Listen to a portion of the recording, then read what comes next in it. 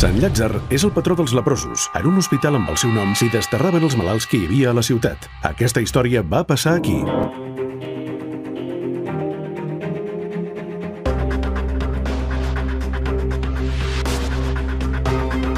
Som al camí que ens porta a la masia de Can Masdeu, antiga lleproseria de l'Hospital de la Santa Creu, que va funcionar des de l'any 1902 fins al 1961.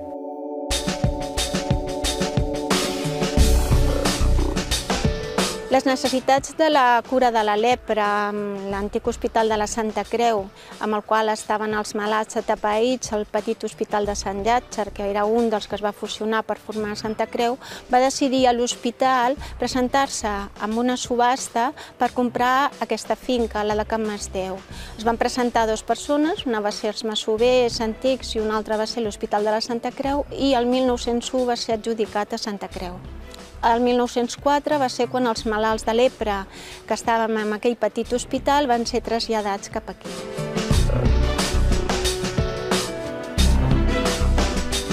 Els malalts de lepra arribaven aquí ja amb unes condicions eh, molt dolentes, ja en un estat quasi terminal. Per tant, l'únic que es volia és que estiguessin a gust i que poguessin eh, estar en unes condicions de salubritat millor que no tancats en, un, en una estança.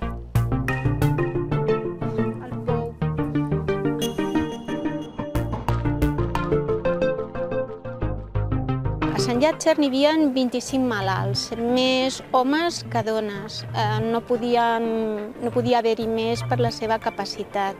Tenien un petit terreny, un petit tor on ells conreaven i després tenien activitats que li s'oferia Santa Creu.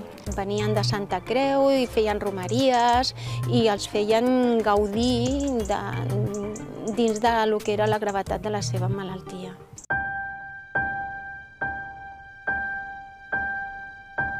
Amb l'any 1931 es nomena un director de Sant Llàtzer, que és el doctor Nogués. Llavors aquest director va venir, va fer una inspecció i va veure que la masia no estava en bones condicions. Això va promoure que el 1931 s'aixequessin ja uns planos per fer un nou edifici i gràcies a la caritat de Barcelona, com sempre havia passat a Santa Creu, vas començar a fer-se aquest edifici, un nou Sant Llàtzer pels, nous, pels lleprosos. Però també, mala pata i mala fortuna, eh, va venir la guerra i llavors l'obra es va veure aturada.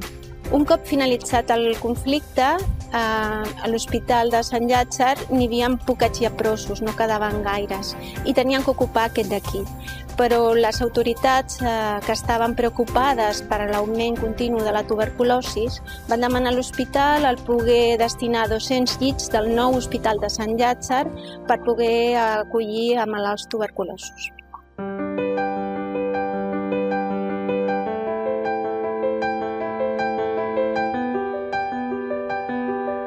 El destí definitiu de l'Hospital de Sant Llàtzer va ser els nens tuberculosos. Gràcies a un conveni de l'Hospital de la Santa Creu amb l'associació Sant Salvador de los Pàrvulos i el doctor Andreu es va crear un sanatori de tuberculosis per a nens. Aquest sanatori va funcionar fins a l'any 75, en què es va tancar.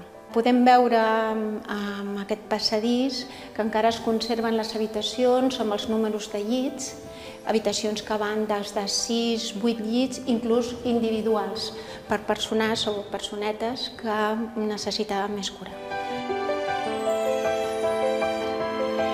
A l'any 1960, la Junta Provincial de Sanitat va decidir tancar Can Masdeu perquè era insalubre i perquè tenien la idea de que els malalts lleprosos tenien que estar en un hospital amb les millors qualitats possibles i sobretot un hospital estatal.